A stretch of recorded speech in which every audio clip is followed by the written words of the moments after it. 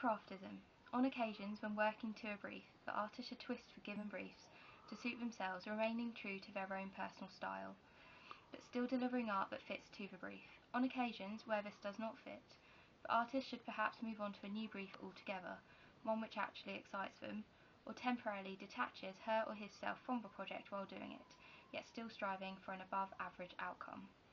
The artist is critical of their own work, but only because they strive for perfection, and because of this they are resilient, pushing themselves only to stop when they alone are completely happy, if not ecstatic, with the outcome.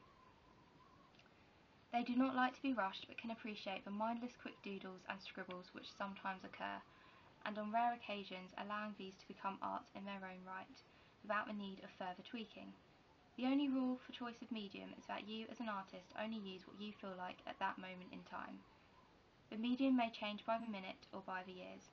There is no fixed or regulated time, it remains a personal, flexible choice.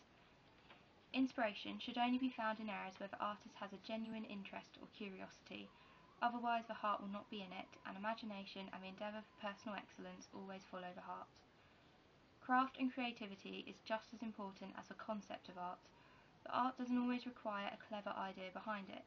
Sometimes it's simply the conversation between what inspires she or him as an artist and how they choose to physically express this. Even when there is an important message to be spoke or story behind it to be told, there is still no excuse for laziness passed off as art.